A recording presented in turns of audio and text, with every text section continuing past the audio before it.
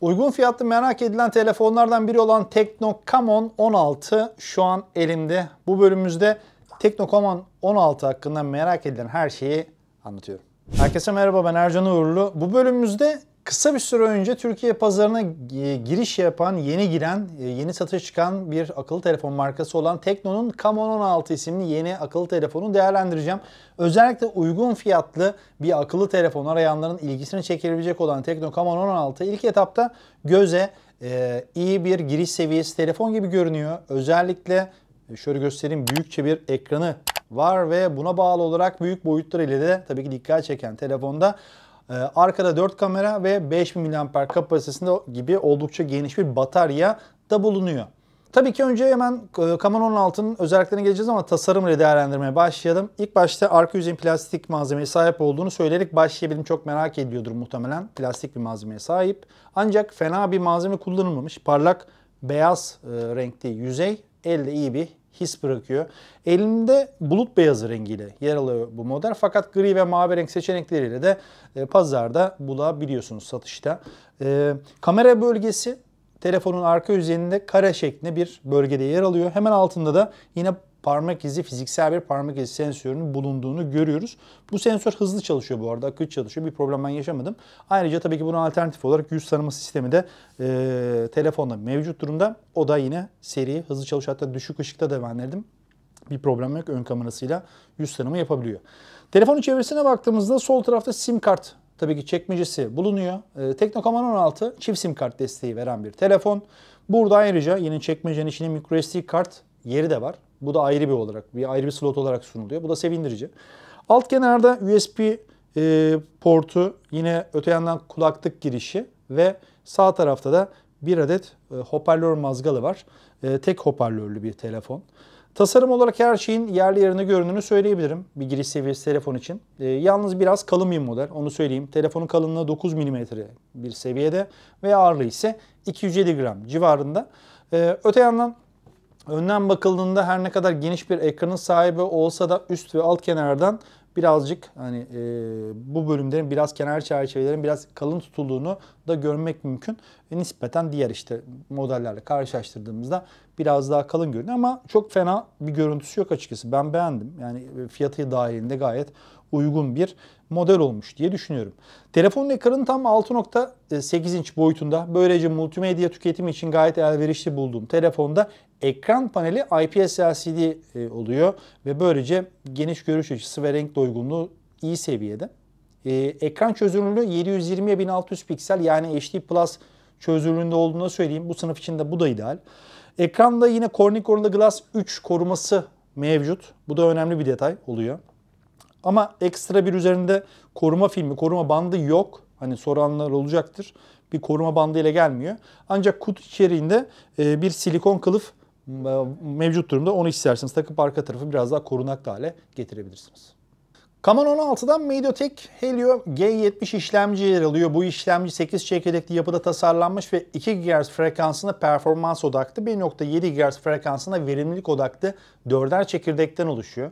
6 GB RAM ve 128 GB depolama alanına sahip olan telefon da microSD kart desteğiyle beraber bu opsiyon bulması sevindirici. Böylece alanı, e, depolama alanını arttırabiliyorsunuz.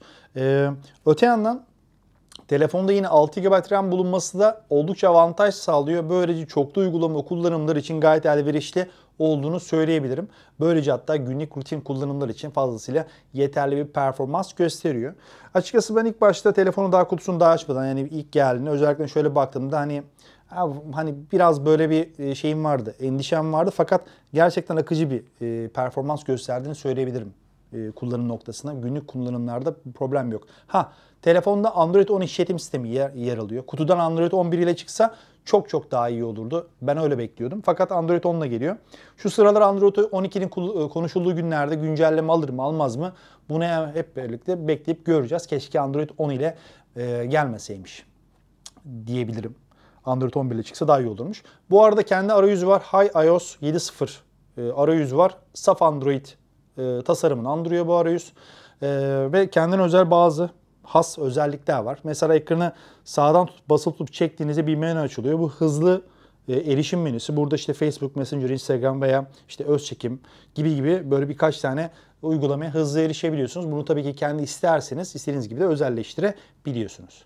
Ayrıca telefonun içinde biraz daha gezindiğinizde daha fazla pek çok işte e, farklı e, aracın yer aldığını görüyorsunuz. Ekranı yine böyle bu şekilde sağa doğru e, çektiğinizde başka bir ekran alanı daha açılıyor. Buradan da işte arka plan ve tema seçeneklerine ulaşabiliyorsunuz. Telefonun kendi uygulama marketine erişebiliyorsunuz. Yani Google Play ile sınırlı değilseniz ayrıca bir market daha var. Ve Phone Master başlığı altında bir bölüm de bulunuyor. Buradan telefonu işte temizleyebiliyorsunuz belleğini, güç gereksinimlerini vesaire falan buradan ayarlayabiliyorsunuz. Performansına e, özel e, yönelik özelleştirmeleri gerçekleştirebiliyorsunuz. Bu da güzel bir diğer detay olmuş. iOS'te yani işletim arayüzünde ayrıca bir oyun modu da bulunuyor. Mesela işte PUBG'de ben denediğimde e, oyunu oynuyorken ekranı sol yandan çektiğinizde yine açılan bu mod ile oyun sırasında gelen çağrı ve mesajları engelleyebiliyor. Yüzen ekran yoluyla WhatsApp ve Google'ı başlatabiliyorsunuz ya da oyundan e, ekran görüntüsü, ekran kaydı alabiliyorsunuz. Özellikle hani oyun oynarken yayın yapmayı sevenler veya işte kendi kayıtlarını alıp paylaşmayı daha sonra YouTube ve diğer platformlarda paylaşmayı sevenler için bu güzel bir eklenti olmuş diyoruz.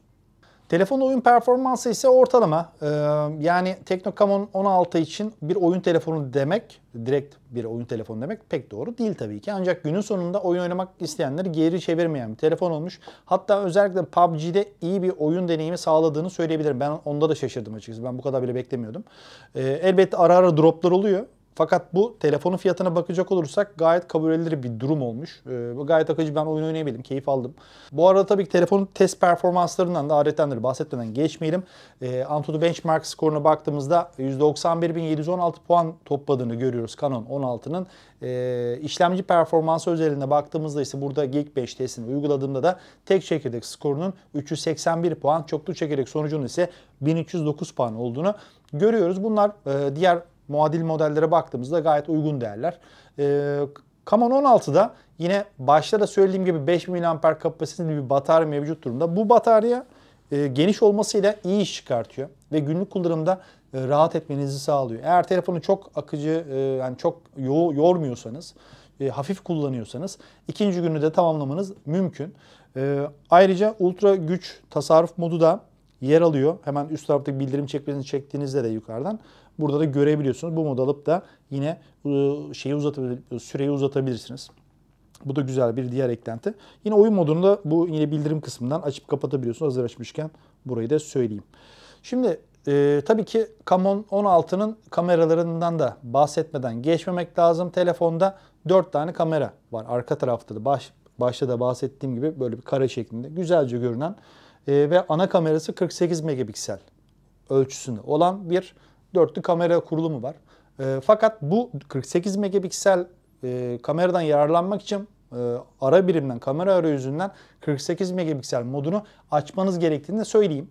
Ana kameranın çevresindeki diğer 3 kamera ise 2 megapiksel lenslerle sıralanmış durumda. Bunlar işte e, bu 3 kamera makro, derinlik ve yapay zeka kullanımını mümkün kılıyor. Özellikle yapay zekadan geniş ölçekte e, faydalanan telefon genel hatlarıyla güzel kareler elde edebiliyor. E, fakat tabii ki ortamın ışıklandırmasının iyi olmasına özen göstermek lazım. E, telefonda her ne kadar gece modu olsa da düşük ışık koşullarında çekilen fotoğraflarda grenleri fark etmek zor olmuyor. Fakat gündüz çekilen fotoğraflarda gayet güzel. E, dediğim gibi kategorisi için e, şaşırtıcı derecede diyebileceğim hatta e, iyi görüntüler elde edebiliyorsunuz. Telefon ön kamerasında ise sağ üst köşeye yerleştirilen bir kamera delik yoluyla e, yerleştirilen bu kamerada 16 megapiksel çözünürlüğünde ve ön kamerada da yine iyi ışık koşullarında iyi selfie fotoğrafları çekmeniz mümkün. Bu arada yine ön tarafta eğer işte düşük ışık koşullarındayken gece fotoğraf veya video çekeceğinizde flaşı açmak istediğinizde ilginç bir şeyle karşılaşıyorsunuz. Telefonda çok güzel bir şey kullanılmış. Ee, ön kamera hatta şöyle birlikte de yapalım sizde. Şöyle şuradan ön kameraya geçiş yapalım. Bir fotoğraf kısmına da geldik mi eğerken. Flaşı da açık hale getirelim. Görüyorsunuz şu an çift flaşa desteklenmiş durumda. Böylece e, daha net e, aydınlatma koşullarında fotoğraf veya video çekme şansınız olabiliyor. Bunu aynı zamanda videoda da kullanıyorsunuz ki bu arada e, videoda arka kamerayla çekeceğiniz videolarda 2K çözünürlüğünde video kayıt imkanı olduğunu da söyleyeyim. Evet sonuç olarak toparlayacak olursak Teknokaman 16 hiç de fena bir telefon olmamış. Fiyatının da e, ben bu incelemeyi yaptığım sırada 2439 TL olduğunu e, düşününce, e, öğrenince ortaya güzel bir sonuç çıkmasına vesile oldu açıkçası. Çünkü bunun fiyatı daha yüksek diye hatırlıyorum. Bana gelene kadar düşmüş ya da ben inceleyene kadar. E, giriş seviyesinde 2500 TL civarında iyi bir telefon arayanların ilgisini çekebilir diye söyleyebilirim. E, bunu söyledikten sonra artık burada incelememizi noktalayalım. İzlediğiniz için çok teşekkürler. E, yorumlarınız varsa, sorularınız varsa muhakkak yorumlarda bekliyorum. Oradan da cevaplayacağım. E, kendinize çok iyi bakın. Bir sonraki videomuzda görüşmek üzere. Hoşçakalın.